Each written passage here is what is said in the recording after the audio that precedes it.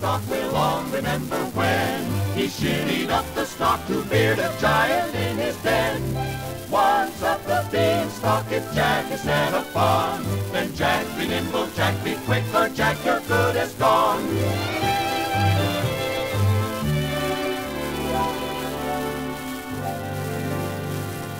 That's a pretty song, isn't it, Costello?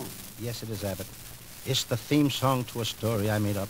It's called Jack and the Beanstalk. Wait a minute, I've heard that title before. Are you sure this story is one you made up yourself? Yes, sir. Once upon a time, in a little village far away, there lived a very poor, poor woman in a tiny cottage. All this poor woman had in the world was a son named Jack and a cow, What was the cow's name? Engelbert. Engelbert. Yep. That's a ridiculous name. Well, if the cow don't mind, Abbott, why should you? Now, mind your own business. Go ahead. Now, one day, Jack's mother sent him to town to sell the cow. But on the way, Jack met a man who offered to buy the cow for a handful of beans. Are you sure you made this story up? Yeah, I made it up. Out of your head? What you say? I said, out of your head? And so are you. Now keep your mouth shut and let me tell a story. So Jack sold the cow for a handful of beans. But when he told his mother what he had done, she was very, very angry. And she threw the beans right out the window. Out the window. Yes. And that hurt Jack Why? because he was holding on to them. Now listen, will you? This is where it really gets exciting. That night, out in the garden, the beans began to grow. They twined around each other and grew. Which way did they grow? Which way did they grow? They couldn't grow down. They grew up. And up. And up. Until they grew right up into the sky. Oh, Abbott, it was a beautiful blue sky with white clouds. Oh, All right, go on with this story that you made up. the very next morning when Jack awoke and saw the beanstalk growing right through the clouds, he told his mother he was going to climb it. She was afraid, but she believed in him. She had faith. Yes. And what'd you say? I said she had a sort of faith. Yeah, she had a sort of faith, and she had two eyes, and a nose, and a mouth, but not half as big a mouth as you got, Abbott. a Lou. So Jack kissed his mother goodbye and started to climb up the beanstalk.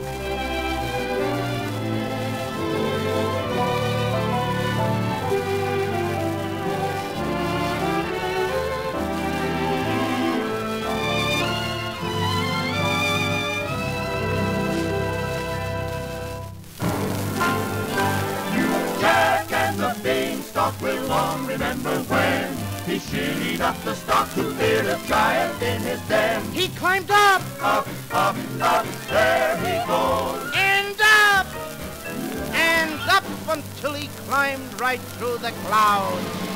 Jack and the beanstalk, there goes Jack. But is Jack ever coming back?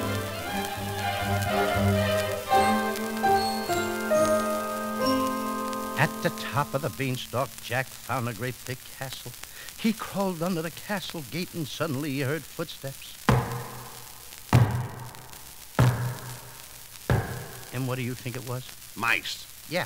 Now, no, no! It was a ferocious giant Abbott, 50 feet tall. The giant sniffed the air and said, Fee, fi, fo, fum. I smell the blood of an Englishman. And what did Jack say? he said, Fum, fi, fo, fee. It can't be me. I'm from Tennessee. And then the giant said, Be he alive or be he dead, I'll grind his bones to make my bread. And what did Jack say? Oh, gosh, I'm in an awful pickle. Wouldn't you rather eat pumpernickel? Then the giant went to the cupboard and took out his harp. He put the harp on the table and said, Play. and all by itself the harp began to play. Soon the giant grew tired of the magic harp, so he said, Enough. then he went to a cage in a corner and took out a small hen. This was a wonderful hen that laid golden eggs. A hen that laid golden eggs? What's so wonderful about that? Could you do it? I'll go on with the story that you made up. Then the giant put the hen on a table and said, Lay. Another. Another. What? I'm tired. So am I. So the giant put his head on a table and fell asleep. Quick as a flash, Jack snatched the hen and the magic harp and ran.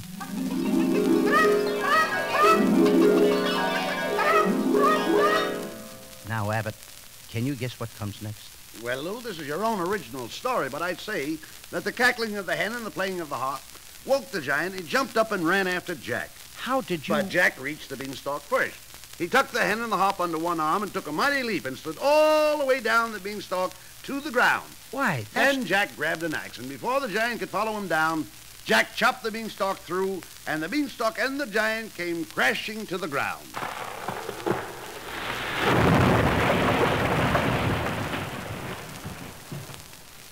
That's it.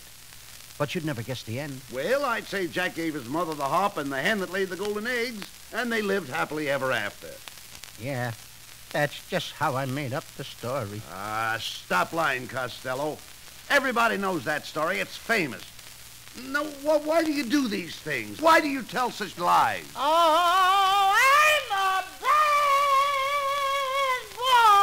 bad boy. Jack and the beanstalk will long remember when he shinned up the stalk to bearded giant in his den.